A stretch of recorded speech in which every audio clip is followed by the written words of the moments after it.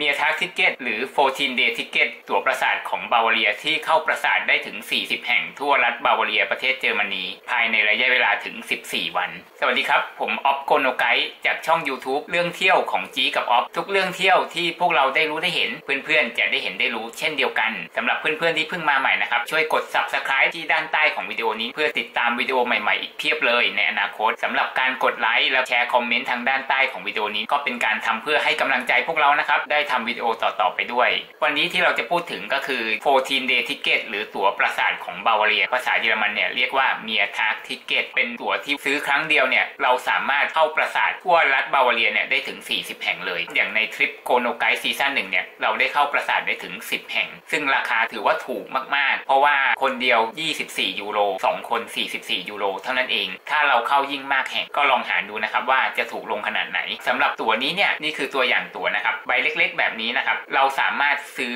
ได้ที่ ticket counter ของปราสาททุกแห่งในรัฐบาวาเรีย แล้วจะเริ่มใช้ได้ยังไง เขาจะนับยังไง ดูด้านหลังนะครับ ก็จะมีวันที่ที่เขียนเอาไว้ ซึ่งเจ้าหน้าที่เขาเป็นคนเขียนไม่ใช่เราเขียนนะครับ เขาจะเขียนวันที่เราเริ่มใช้ตั๋วเป็นครั้งแรก แล้วก็นับไปอีก 14 วันอ่าเห็นละ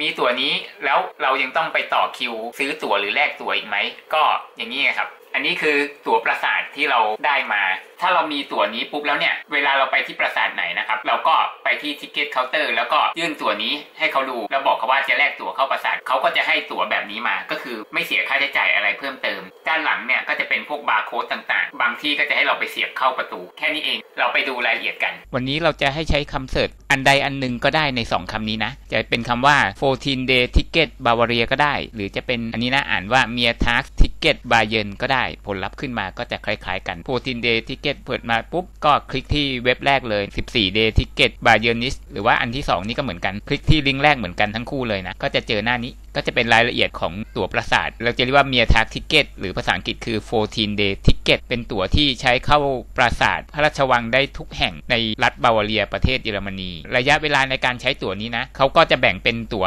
2 สัปดาห์คือ 14 วันอะกับตั๋วปี ซึ่งตั๋วปีเราไม่ต้องไปสนใจอยู่แล้ว เราก็สนใจแต่ตั๋ว 14 วันอย่างเดียวนะ ตั๋ว 14 วันเนี่ยอย่างที่บอกว่าเข้าปราสาทได้ทุกแห่งในบาวาเรีย มันจะเริ่มใช้วันไหน ครั้งแรกที่เราไปใช้อะพนักงานเขาจะเป็นคนเขียนให้ ก่อนที่เราจะไปพูดถึงรายละเอียดของตั๋วประสาทนี้นะ ก่อนอื่นเราอยากให้ดูรูปที่เราทำมาก่อน อันนี้จะทำให้เห็นภาพรวมได้คร่าวๆนะ นี่คือปราสาทที่เราแนะนำนะ ในรัฐบาวาเรียเนี่ย ทั้งที่เราไปเองใน GoNoGuide season หนึ่งทั้ง 10 แห่ง แล้วก็ปราสาทที่เราไม่ได้ไปก็คือในเมืองไบรอยท์เนี่ยนะซึ่งก็น่าสนใจอยู่นะ รวมทั้งหมดเนี่ยถึง 12 แห่งด้วยกันนะ คุ้มอะ่ะ คุ้มยังไงเดี๋ยวเราบอกอีกทีหนึ่งนะ เดี๋ยวเราแนะนำก่อนปราสาทที่เราแนะนำมีอะไรบ้างนะ เอาง่ายๆให้ดูจุดศูนย์กลางก็คือเมืองมิวนิกนะที่อยู่ตรงกลางนี่นะ แล้วก็จะมีด้านบนแล้วก็ปราสาทที่อยู่ด้านล่างของเมืองมิวนิกใช่ไหมเอาด้านบนก่อนนะ ไล่จากทางซ้ายบนนะ ก็คือมีเมือง Würzburg ก็จะมี Würzburg Residence แล้วก็ Marienberg Fortress ที่ใช้ได้นะ แล้วก็ถัดมาก็เป็น Bamberg ที่ใช้ได้ก็คือจะมีถึง 3 แห่งด้วยกันจะมีปราสาท Seehof เนี่ย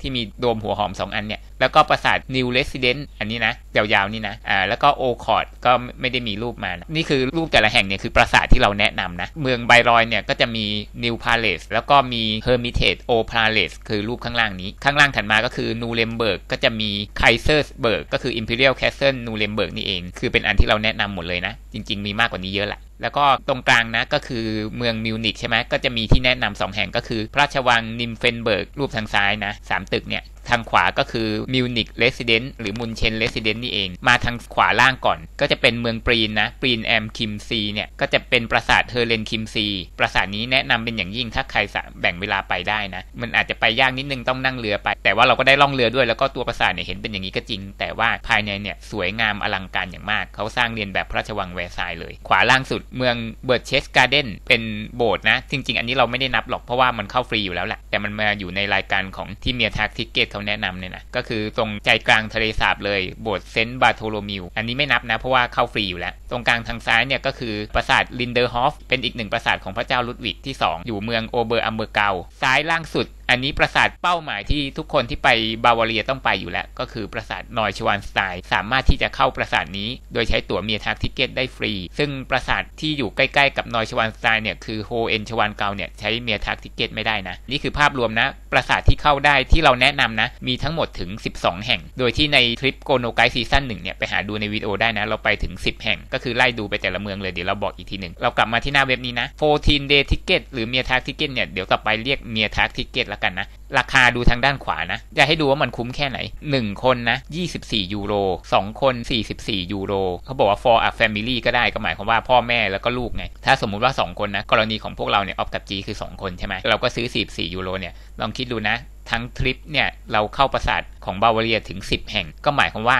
เฉลี่ยที่ละ 4.4 ยูโรต่อ 2 คน ก็คือคนละ 2.2 ยูโรโอ้ค่าเข้าปราสาทหลังละ 90 บาท อะไรมันจะคุ้มขนาดนั้นนะต่อให้ไปคนเดียวก็ตามนะ 24 ยูโรก็หาร 10 ที่ละ 2.4 ยูโร ก็ที่ละประมาณเกือบเกือบร้อยบาทเท่านั้นเอง โอ้โห ถูกมากๆ คุ้มสุดๆเลย แล้วข้างล่างเนี่ยเขามีแนะนำอีกอันนึง ซึ่งราคาก็เท่ากันเลย ในความคิดของเราเนี่ย Mehrtages คุ้มกว่าเยอะ แต่ก็ใครที่อยากจะเข้าเฉพาะปราสาทของพระเจ้าลุดวิกที่2เนี่ยทั้ง 3 แห่งนะ ก็คือ Herrenchiemsee ที่อยู่เมือง Prien น่ะแล้วก็ Neuschwanstein แล้วก็ Linderhof ก็ซื้อเฉพาะตั๋วนี้ได้ 24 ยูโรเท่ากัน จริง ๆ Mehrtagesticket ก็เข้าได้อยู่แล้ว 24 ยูโรก็เท่ากัน แล้วจะซื้อตั๋วปราสาท Königsschlösser นี้ทำไม ฉะนั้นเราเอา Mehrtagesticket เนี่ยคุ้มกว่า ทีนี้คำถามคำตอบสำหรับ Mehrtagesticket นะ คนที่ยังไม่เคยไปเนี่ยก็ต้องกังวลอยู่แล้วใช่ไหมว่า วิธีการใช้เนี่ยมันเป็นยังไงบ้างนะนี้เราจะไล่ไปดูทีละข้อเลยนะ ตั๋วเนี่ยมันจะเริ่มใช้ตั้งแต่เมื่อไหร่ เริ่มใช้ตั้งแต่วันแรกที่เราซื้อ การซื้อตั๋วนี้เนี่ยเราไม่จำเป็นต้องสั่งซื้อออนไลน์นะ เราไปซื้อที่ปราสาทไหนก็ได้ ในบาวาเรียเนี่ย อย่างพวกเราเนี่ยเริ่มต้นปราสาทแรกก็คือ Würzburg Residence เราก็ซื้อที่ ticket counter ในปราสาทนั่นแหละ บอกว่าซื้อตั๋ว 14 day ticket หรือ Mehrtagesticket ก็ได้ แล้วเขาก็จะให้ตั๋วนี้เรามา แล้วเขาก็จะเขียนวันที่ที่เริ่มต้นแล้วก็วันที่ที่สิ้นสุดเนี่ย 14 วันคือนับตั้งแต่วันแรกที่เราใช้ แค่ 14 วันนี้คงเที่ยวได้ครอบคลุมทั้งรัฐแล้วล่ะ ทีนี้ข้อ 2 เด็กอะต้องใช้ไหมโอ้โหดีมากเลย เด็กที่อายุต่ำกว่า 18 18 ไม่ได้ เข้าฟรี ทีนี้บางคนก็อาจจะกังวลไง อยากจะซื้อตั๋วไปก่อนทางออนไลน์ได้ไหม จะได้ไม่ต้องไปต่อคิวซื้ออะไรอย่างเงี้ยคำตอบก็คือซื้อตั๋วทางออนไลน์ได้ แต่ว่าเฉพาะคนเยอรมัน คือจริง ๆ เขาไม่ได้จำกัดหรอกนะ เพียงแต่ว่าคนสั่งซื้อทางออนไลน์เนี่ยเขาจะส่งตั๋วไปทางไปรษณีย์ให้ที่บ้าน เขาคงไม่ส่งมาให้เราที่ไทยแน่ๆ ฉะนั้นเราไม่จำเป็นต้องซื้อออนไลน์ แล้วซื้อตั๋วนี้แล้วเนี่ยยังต้องไปเข้าคิวที่เคาน์เตอร์อีกไหมเรามี Mehrtagesticket นี้แล้วเนี่ยไปถึงปราสาทไหนก็แล้วแต่เนี่ยเราก็ต้องไปแลกตั๋วเข้าปราสาทก่อน ฉะนั้นต่อให้มีอันนี้แล้วเนี่ยไม่ใช่ว่าเดินผ่านเข้าไปได้เลยก็คือ ไปที่เคาน์เตอร์ก่อน บอกเขาว่าจะแลกตั๋วเข้าปราสาทยื่น Mehrtagesticket ไปเขาก็จะให้ตั๋วเข้าปราสาทมา ไม่ได้เสียค่าใช้จ่ายอะไรเพิ่มเติมนะ ถัดมาต้องจองก่อนไหมจากที่เคยทำมาก็ไม่ต้องเดินดุ่ยๆเข้าไปได้เลย แต่ละที่เขาก็ไม่เหมือนกัน บางที่เขาก็จะแบ่งเป็นรอบอะไรเงี้ยเราก็รอรอบของเรา บางที่ไม่ได้แบ่งเป็นรอบก็มันจะมี audio guide เป็นเครื่องอะ ไปถึงห้องไหนปุ๊บเขาก็จะมีเบอร์แล้วก็กดเบอร์ แล้วก็ฟังภาษาอังกฤษจาก audio guide แทน ตั๋วเนี้ยรวมไกด์ทัวร์ด้วยไหมคนนำทัวร์พูดในปราสาทอะไรเงี้ยรวมด้วยไหมแต่ละปราสาทไม่เหมือนกันนะ บางปราสาทเนี่ยจะบังคับเข้าเป็นไกด์ทัวร์อยู่แล้ว อย่าง Würzburg Residence เนี่ยบังคับเป็นไกด์ทัวร์ฉะนั้นเราก็ต้องรอรอบนะแล้วก็จะมีไกด์มาพาเราไป แต่บางปราสาทอย่างเช่นมิวนิก Residence เนี่ยคนมันเข้าเยอะไงก็ไม่มีไกด์นะเราก็ใช้ audio guide แทน Neuschwanstein เนี่ยเป็นไกด์ทัวร์ก็ต้องรอเป็นรอบฉะนั้นแล้วแต่แต่ละปราสาทไม่เหมือนกันเราไปดูเงื่อนไขของปราสาทอีกทีหนึ่งแต่บางคนเนี่ยเขาก็อยากจะแบบว่าโอ้โหได้ไกด์พิเศษ เฉพาะบุคคลเลยอะไรอย่างเงี้ยอันนี้ต้องจ่ายเพิ่มต่างหากไม่เกี่ยวกับตัวนี้ คือแล้วแต่ปราสาทถ้าปราสาทไหนมีเป็นรอบๆ มีเป็นไกด์ทัวร์ก็เป็นไกด์ทัวร์ถ้าปราสาทไหนเขาไม่ได้บังคับไกด์ทัวร์ก็เป็น audio guide จบ ถัดมา อันนี้ที่สงสัยกันมากเพราะว่าปราสาทยอดฮิต Neuschwanstein เนี่ยคนเข้าเยอะมาก คนยังไม่ไปก็ยังไม่ทันนึกหรอก แต่พอคนจะไปแล้วปุ๊บเนี่ยก็จะนึกได้เลย เอ้ย แล้วจองยังไงเนี่ย มีตั๋วนี้ฉันต้องจองไหมต้องซื้อตั๋วอีกไหมคำตอบก็คือถึงจะมีตั๋วนี้แล้วก็ต้องไปเข้าคิวแลกตั๋วอยู่ดี แลกตั๋วไม่ได้เสียตังค์นะ เราก็ต้องรอตามรอบอยู่ดี คือ ticket counter ของ Neuschwanstein เนี่ยมันอยู่ข้างล่างไงแต่ตัวปราสาทนู่นอะอยู่บนเนินเขานู่นตัวปราสาทอะไม่มีเคาน์เตอร์แลกตั๋วนะ เราต้องแลกตั้งแต่ข้างล่าง ฉะนั้นเราก็ต้องไปเข้าคิวแลกตั๋วอยู่ดี เดี๋ยวเรามีรูปให้ดู แต่ว่าใครที่อยากจะจองออนไลน์ไปก่อนอะคือมันมี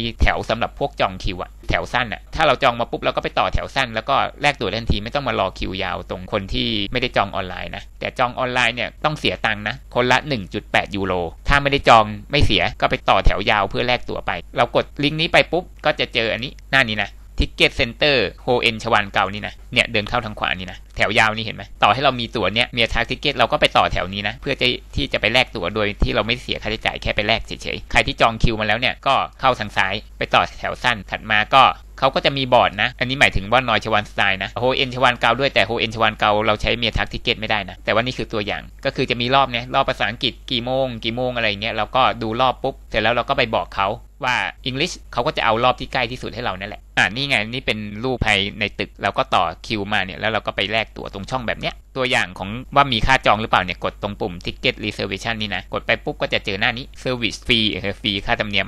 1.8 ยูโร per person เรามาดูรายละเอียดของแต่ละปราสาทกันนิดนึง ให้เลื่อนขึ้นมาข้างบนนะ แล้วก็กดตรงคำว่า Palace นี่นะ จริงๆ ไม่กดก็ได้มันมีชื่ออยู่แล้ว อ่าสมมติว่าเรากดไปปุ๊บ นี่ไงก็จะเป็นแผนผังแบบที่เราโชว์ให้ดูตอนแรกเนี่ย แต่เราเอาไปใส่รูปมาเพิ่มเนี่ย แต่ละลิงก์เนี่ยเขาก็จะมีรายละเอียดของแต่ละปราสาทนะ สมมุติว่าเป็นแบมเบิร์กนะ กดให้ดูสัก 2 ตัวอย่าง แล้วก็มิวนิกเขาก็จะมีนะเข้าที่ไหนได้บ้าง 3 ที่เนี่ยของ Bamberg นี่นะ เรากดไปดูตรง Seehof ส่วนมิวนิกเรากดไปดูตรง Resident Museum นะซีฮอฟนี่เขาก็จะมีบอกหมดนะ ค่าตั๋ว ถ้าเราไม่ได้ใช้ Mehrtagesticket ก็คือคนละ4ยูโร อันนี้ค่อนข้างถูกอยู่แล้ว ลองไปหาอ่านกันดูมิวนิกล่ะ ไกด์ทัวร์นี้ก็บอกว่า no regular ไกด์ทัวร์ถ้าจะเอาไกด์ทัวร์จริง ๆ เป็นคนบรรยายก็ต้องจองเป็น private ไป ค่าเข้าก็ 7 ยูโร ถ้าไม่ได้ใช้ตั๋วนี้จะถามว่าฉันเข้าแค่ที่ 2 ที่อะ มันต้องซื้อหรือเปล่า ไม่ต้องก็ได้ มาดูราคาในเนี้ย 7 ยูโรใช่ป่ะ Neuschwan 13 ยูโร7บวก13 ถ้าเราเข้าเฉพาะมิวนิก Residence กับ Neuschwanstein 7บวก13 ก็คือ 20 ยูโร